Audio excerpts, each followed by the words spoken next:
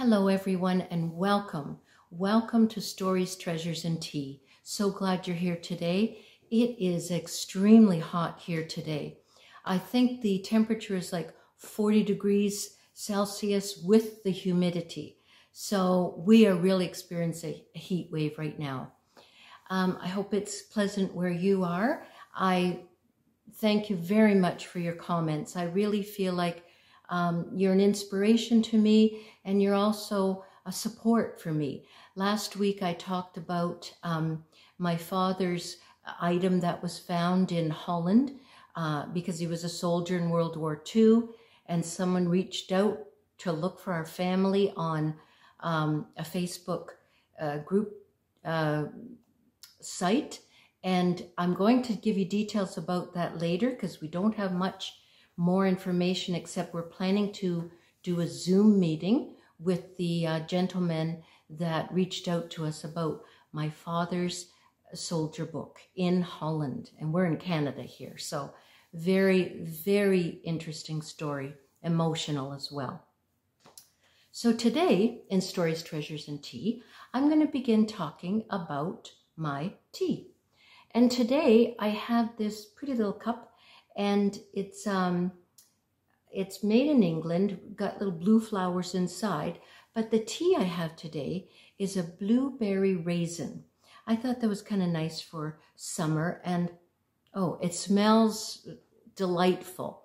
And it's also a herbal tea, so let me try it. Very nice, very fruity. It's really a fruity tea. Um, Tiamo does have it online. And as you know, if you are in Canada, you can order this um, Tiamo blueberry raisin tea. We can't deliver to the States yet. We are working on it. But it's a nice tea for summer. It's also a nice tea for um, an iced tea, absolutely. So, also in this video, I'm going to share at the end some very sad news. But I'll do that, that at the end. In the meantime, we'll talk about some good things. And the first thing I want to talk about is my treasures this week. I went to a thrift shop and it was interesting because sometimes I don't understand the pricing in the thrift shops. I'm going to show you what I got and then I'll tell you the differences in uh, pricing. So this is a beautiful two-tiered uh, cut glass serving tray, like would be perfect for high tea or just uh, if you have friends over, you could put anything on there. So I love that. Um, and that was in the thrift shop. But right beside it was a simple white vase. Very simple. Didn't look like anything special, but it was from Indigo. So this simple white vase was like $10. This two-tiered cut glass was $7.99. I don't understand the pricing, but to each his own. But I also want to show you this, which, of course, I, I washed this uh, two-tiered platter very good. And then because I, I don't think it's crystal, but I really don't know. Maybe somebody out there who is knowledgeable with crystal would know this. I didn't see any markings on it like Waterford or anything. I'm sure it's not Waterford, but I wash it in warm soapy water. And then after it's dried, I have this flour sack tea towel. I love these flour sack tea towels. They're big. They're 100% cotton. Very big. I, I think they're like 18 by 18 maybe. I'm not certain. But I really like to polish different glass items with this. That's one of the things I like to use this uh, flour sack tea towel. It's kind of an old-fashioned thing, but this is good for everything in the kitchen. Wiping down the counters, like I have a granite countertop, and this is good for wiping that down. First, I'm clean it up with, you know, maybe some soap and water, and then polish it with this. You can dry dishes with this, of course, but I love these flour sack tea towels. I'm going to link those for you too. So that was one of my treasures this week. But the other one was this picture behind me. I could not resist this. It just kind of blends in with my decor. And um, I tried to change up my cushions a little bit to match it. And um, see, you've got these green ones here too, green and blue. But anyway, um, I saw this and it's big.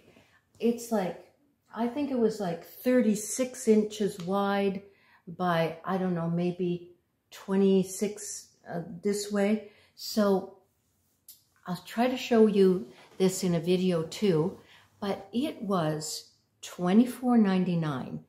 Even the frame alone is worth way more than that.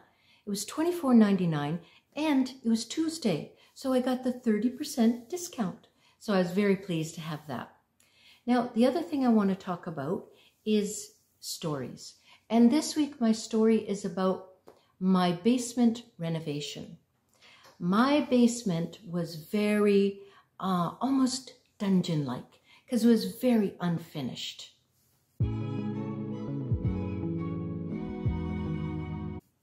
So we have this tea business and uh, we were a lot more active, I guess you could say, uh, just before COVID and even during COVID because we were delivering to people afternoon tea in a box, delivering it to their front door. During COVID, they loved that because people couldn't get out. Then the restaurants opened again, which is good, and our business changed up. But we were sharing a kitchen. We were sharing a commercial kitchen. And then we thought, I thought about it before to put a kitchen in the basement. I thought we can't afford to do that. So then Michael, the man in my life, he said to me that he could do this. He is very skilled at um, construction and renovations, very skilled at that. So he said he could do this with us. So I got to thinking and I thought maybe I could um, look for some used things and thrifted items, which is what we did. So we have a commercial kitchen in our basement. So here we are going into our commercial kitchen or a kitchen for anybody later in life. Has our colors, so pretty. So many things were thrifted. This table, we use that so much, and that was in Michael's garage. We cleaned it up the cabinets, the cupboards up above and below, and the double sinks and the faucets. Of course, we have three sinks because you have to for the inspections. But all those cupboards were $500, and they also gave us a dishwasher, which was portable, and we sold it for 200 so all the cupboards, sinks, and even this cabinet down at the end of the kitchen really ended up costing us 300 and look at our cute little toaster oven the same color as our branding. And i got those door drawer pulls on amazon. There's our aprons. We had that clock a long time ago. We have a tiny little fridge here and also a fridge that we took into the car. It was like a portable kind of fridge. And this table, it was $30. It is solid, but the top was all scuffed up and stained. So I saw these floor tiles in Home Depot. There were only like six of them. And then when we were down there working away and we were doing we did hundreds and hundreds of afternoon tea to deliver. And then I thought, wouldn't it be nice to have a washroom down here? Because we had to keep running upstairs if we had to use the washroom. So Michael said he could do that. So we worked on getting a bathroom downstairs. And here is our bathroom. I got these tiles from a man for $20. The sink and cupboard was another $25 on Facebook Marketplace, and the mirror was $10 on Facebook Marketplace. The toilet was brand new. Won't thrift with a toilet. There's those little pearl tie backs from Giant Tiger, and the curtain was from Giant Tiger. I think it was like $10.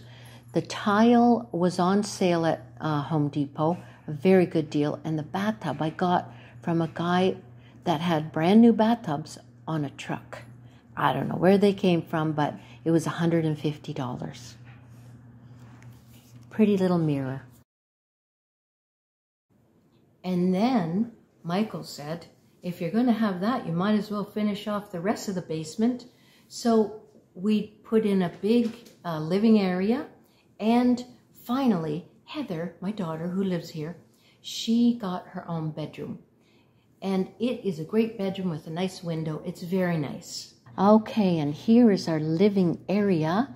The lamps were $20 for these giant lamps. Heather wanted this tapestry so bad. She said in the olden days they used it to keep the house cozy, and it really does make it cozy down here. It's quite eclectic. This cedar chest is from my mother. It's a treasure. Um, I got that plate in a thrift shop because it seemed to blend in with the with the peacocks in the tapestry, so I had to get that.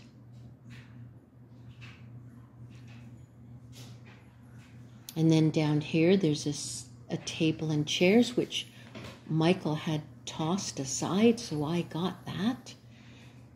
And that mirror was upstairs. And this cute little nightlight was from my sister. Look at the shape of that. So cute. Even that door I got online, I think it was $50. And then this is just a curtain that I had Michael put up. Beyond that is storage and our furnace. This table was on Facebook Marketplace. It's a beauty.